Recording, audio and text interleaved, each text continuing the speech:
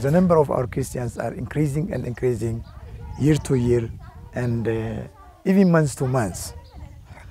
Training is the main, the main point which can uh, change the mind of the people. We also have vision to give special training to form a project and uh, which includes uh, more training, especially for our youngsters.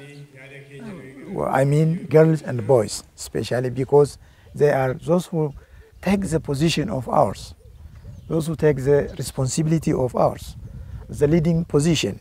So we need to train them uh, to know how to live with their own, based on their own property, and how to uh, keep their faith, and how to keep their faith quality,